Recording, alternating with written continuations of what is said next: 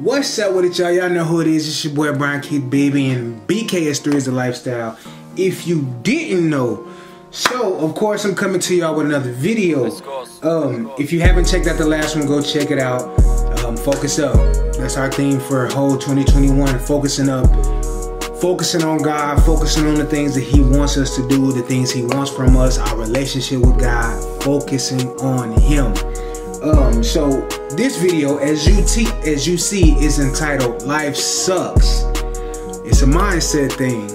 Um, I know that me personally, boy, I've been going through life. I done dealt with stuff. I done had to come into obstacles, roadblocks, and I just be thinking to myself. And sometimes I say it out loud, like, man, life sucks. I can't stand being here. I can't stand dealing with the stuff I'm dealing with. I can't stand being around the people I'm around.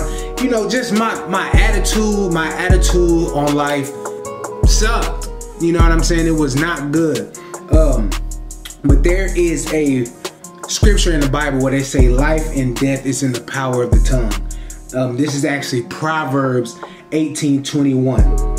Uh, I'm reading this the King James King James Bible. Life and death are in the power of the tongue, and they that love it shall eat the fruit thereof.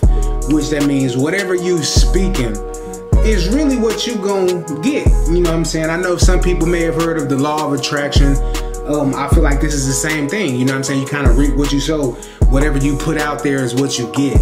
And um, a lot of us will look at life and be like, man, I hate this, or man, I hate them, or man, I hate my life. I, I just wish I could have this and I can wish I could have that.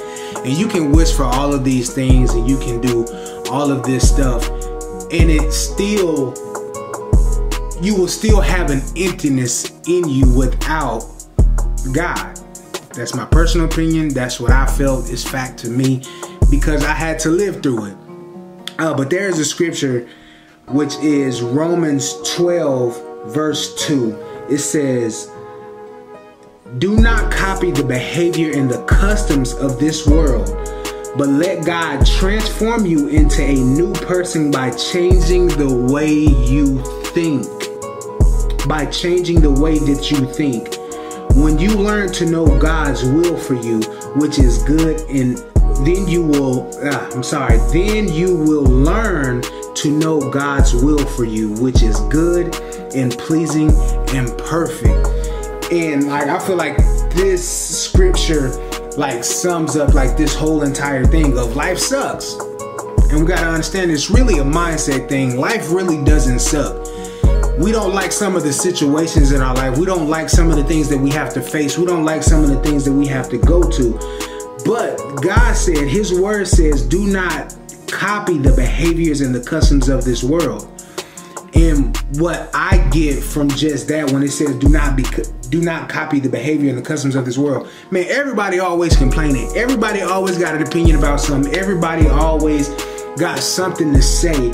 And when you start to copy those same behaviors and customs like okay when something goes bad what do you do you mourn you go smoke you go drink you go do you go find something to ease that pain that is a custom that, that, that this world has continually to push on the people of God, on people, period. Like, okay, if you don't feel good, man, go to the bar, get you something to drink, or go to the store, get you something to drink, and drink your problems away. Or get high. Get high until you don't feel it no more. You know what I'm saying? And God does not want us to do that. But He said, let Him, let God transform you into a new person by changing the way that you think. So, when you know that life and death is in the power of the tongue, you are more prone to think before you speak. Now, you may be going through something so life changing or just even with the stuff that's going on in the world today, some of that stuff can weigh on us. But when we know who and whose we are, when we know that when we allow God to transform us into a new person by changing the way we think, we are we're starting to understand that okay, I'd rather speak life. Like I may not have any money, but I'm going to speak. I have everything I need. I may not feel love, but I'm going to speak that somebody's gonna love me or I'm going to experience what true love is. Even the word says, speak those things that are not as though they were. So that's that's that's having faith. And faith is the substance of things hoped for and the evidence of things not seen. So when, it says life and death is in the power of the tongue, that means by faith I'm speaking life. I'm speaking to my situation. I'm not speaking, oh, I got a Maserati. No, I'm, I'm speaking this stuff according to God's will and God will. He said, when I start to know his will, which is good and pleasing and perfect, these things start to manifest. So when I know that God's plan for me is good, when I know that God's plan for me is to prosper, is for me to prosper in health, physically, mentally, spiritually, financially, I'm going to start walking and I'm going to start speaking life to those things. I may be in debt right now. I got a whole lot of bills I got to pay. But every day when I see those bills, when I don't see those bills, I speak that I am debt free. I'm speaking something that is not as though it is. And I'm believing for that thing. So what's coming out of my mouth is life life. If if I have if I'm having a hard time with the people around me, I'm thanking God for good, wholesome people around me that I can encourage and that can keep me encouraged.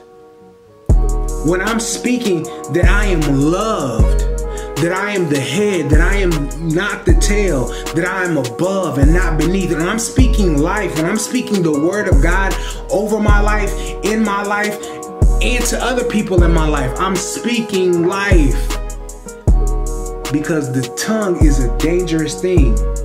And there's another scripture in Proverbs 13 3. It says, Those who control their tongue will have long life.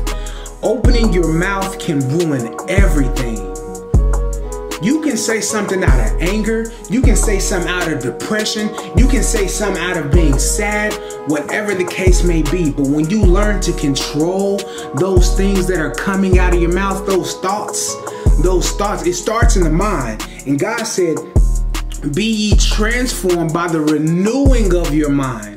So even in that step, there are steps to getting to un, there. There are steps to getting to the place of speaking life continuously. If all you've known is to complain, is if all you've known is to speak death or to speak what you see, it it takes practice to reverse the curse. You gotta reverse the curse. So sometimes you're gonna have to just get up and practice it. You're gonna have to practice it. It's gonna have to be a daily walk. This life that we live, BKS3, baby, it's a lifestyle. When I say it's a lifestyle, that means it's a everyday thing. It's something that I'm living out. It's something that I'm practicing. So I'm practicing speaking life over death. And even my pastor said this, and said this to us. We take ownership of things like, oh, my allergies, oh, this headache, oh, my head hurts, my head hurts. No, my head is healed. I know it seems far fetched, but I have seen people who have, when they have started to change the way that they think, when they start to change the way that they speak, you see those things gradually following. So I may have a headache right now, but I'm like, I thank God for this headache being eradicated. I thank God that I'm walking in perfect peace. I thank God that I have peace in my mind. I thank God that my bills are paid. I thank God that I walk in freedom, that I am strong, that I am more than a conqueror. I thank God for these things because I'm learning speak life. I'm learning to understand the importance of life and death in the power of the tongue.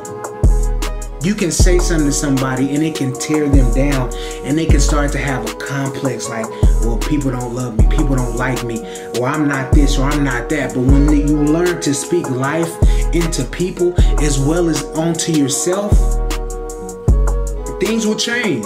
I promise you, I'm a living witness, testimony. Here I am. Because I used to think and speak death over myself and others. But again, Proverbs 13 3 Those who control their tongue will have a long life. Opening your mouth can ruin everything. Be careful what you're saying. Be careful what you're speaking over yourself. Be careful what you're speaking over others.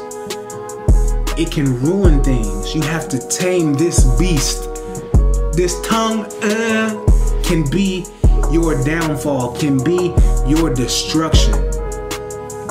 And I have another scripture. Um, Ephesians 3, verse 20. Now, all glory to God who is able through his mighty power that works within us to accomplish infinitely more than we may ask or think. Can a God working in us, through us, we can accomplish infinitely more than we may ask or think.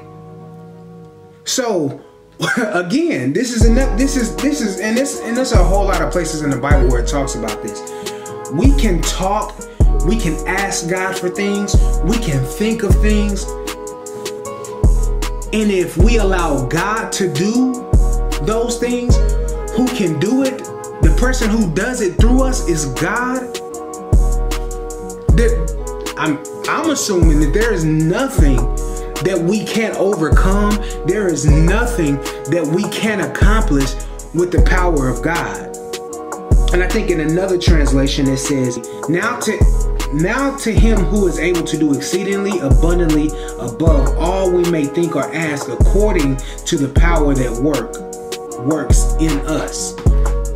So there's a power that works on in us and it goes it goes right back to life and death is in the power of the tongue.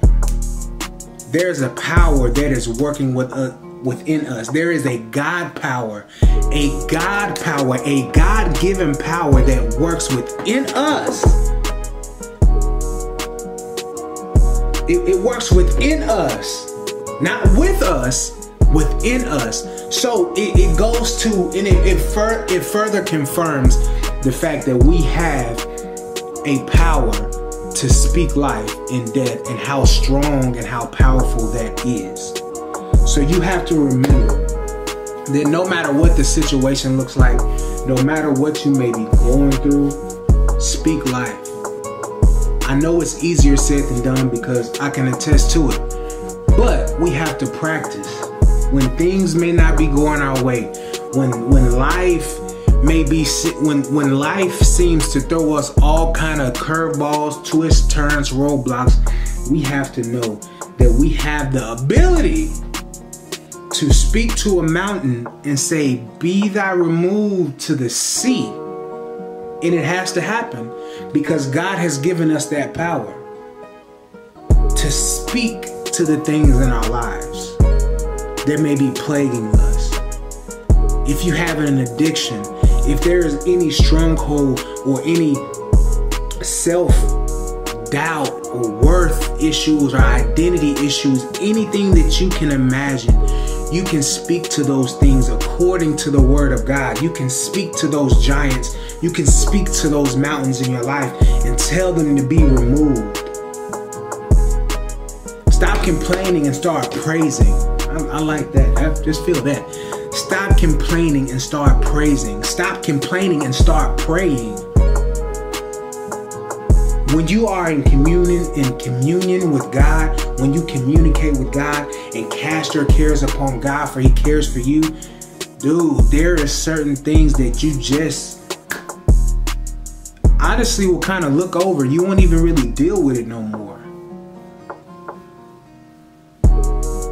If you're dealing with self-worth, you have to know that God loves you. God, you have to speak the word of God over your life. That you are chosen, that you are royal, that you are holy, that you are His. That's one of my favorite scriptures, 1 Peter 2 9.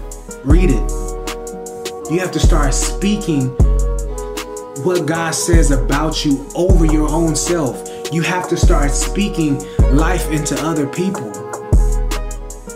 You know how we can easily call people stupid or dumb and da da da da. I dealt with it growing up. But you have to speak to whatever it is. I, I don't know what it is for other people, but I know for me. I can only I can only go based off of me. I dealt with self-worth issues. I've dealt with it. I've dealt with thinking that I'm not good enough, but knowing that I am a child of God and God sees me as good enough. That I have to know that I am the head and not the tail. Despite what I may be going through, despite that I have bills that I know I can't pay on my own right now. But I speak on a daily. I am debt free and I work towards that. I ask God to lead me and guide me to be who He's called me to be. And when I make a mistake, I learn from that mistake and I correct it. Stop saying that you're ugly. Say God has made me beautiful. Say that I am fearfully, wonderfully made when you don't feel love. Speak God loves me. You can speak the scripture. Was it um John 3:16? For God so loved the world, he gave his only begotten son. And and whoever believes will have everlasting life. So God loved you enough to send his son to die for you. So start speaking that I am loved. God loved me so much, he sent his only begotten son to die for me.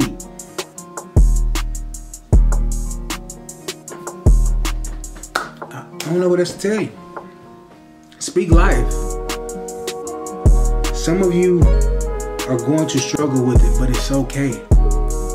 They say practice makes perfect. I, mean, I'm not sure. You know, some people say you'll never get perfect, but practice makes better.